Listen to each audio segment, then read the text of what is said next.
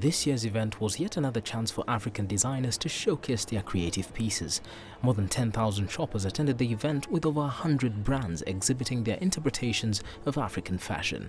According to the organizers, the event, which is in its fifth year, now provides a platform for the exposure of Africa's fashion industry. The whole point of Africa Fashion Week is to discover talent.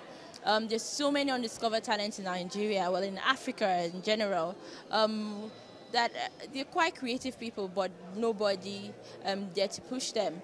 So there isn't that much platform for undiscovered people. Um, and Africa Fashion Week Nigeria was created by um, Ronke Ademiluyi.